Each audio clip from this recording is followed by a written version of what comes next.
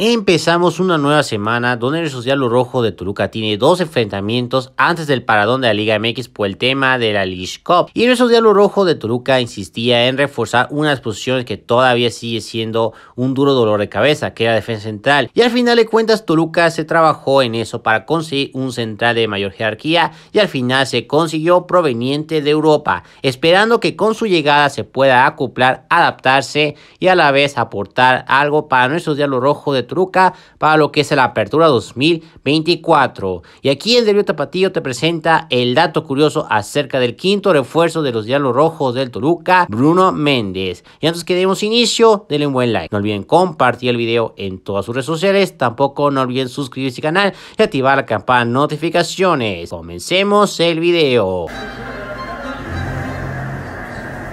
Qué partido de loco. Vamos a tomar un buen mate.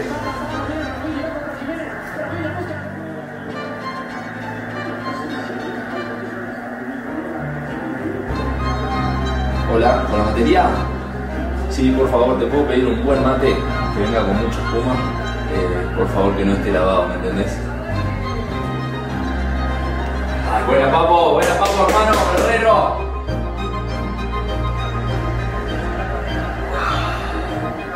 La p partido.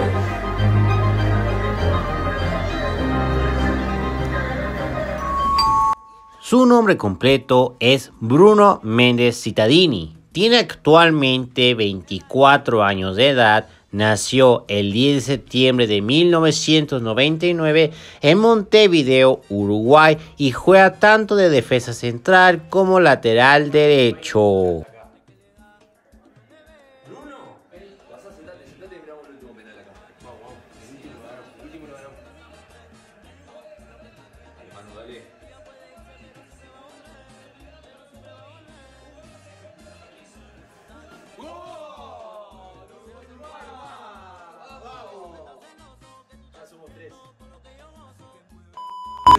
Tres.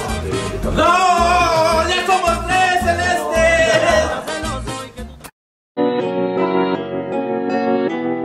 Bruno comenzó a jugar al fútbol a los 4 años en Danubio. Fue parte de la selección AUFI y compartió plantel con Nicolás Schiapaquese y Facundo Baptista.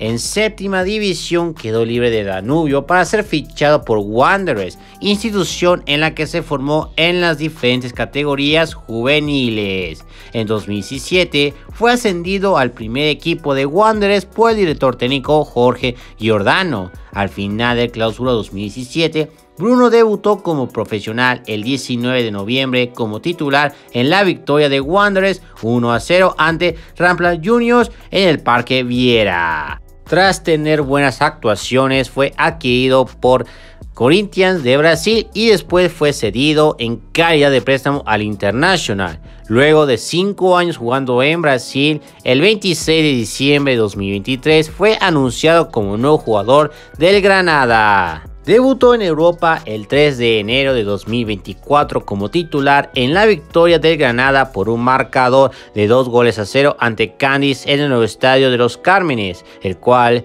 significó romper la racha de 15 partidos sin conocer la victoria en la liga.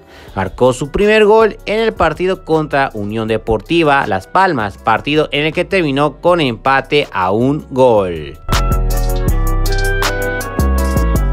El 10 de noviembre de 2018, Bruno Méndez fue convocado por primera vez a la selección de Uruguay debido a las lesiones de Diego Godín y Marcelo Sarachi para jugar los partidos amistosos por la fecha FIFA. Pero antes de eso, Méndez ya había jugado con la selección uruguaya pero en fuerzas básicas. Regresando a la selección mayor, Bruno Méndez debutó el 16 de noviembre con la Celeste como titular frente a Brasil el Emirates Stadium de Londres, pero fueron derrotados por la mínima diferencia de 1 a 0.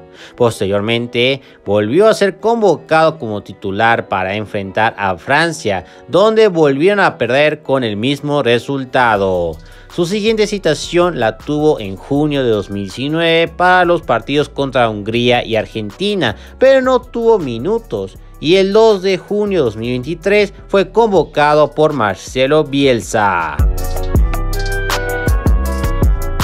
En Wanderers, Méndez jugó 27 partidos donde marcó un gol. En Corinthians jugó 114 partidos donde hizo dos asistencias y marcó un gol. En Internacional jugó 48 partidos donde marcó 2 goles. En Granada jugó 14 partidos donde marcó 2 goles. En Uruguay sub-20 jugó 12 partidos. En Uruguay sub-22 jugó 4 partidos. En Uruguay de selección mayor jugó 2 partidos. En total, Bruno jugó 221 partidos donde hizo 2 asistencias y marcó 6 goles.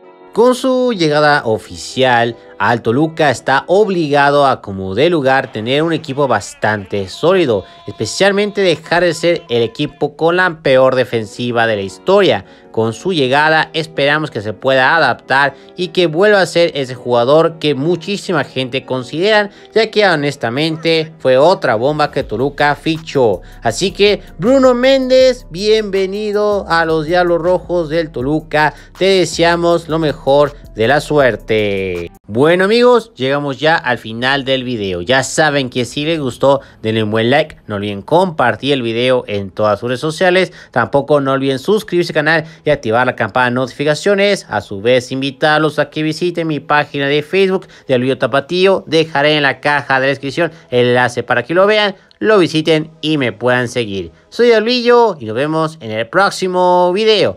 Adiós.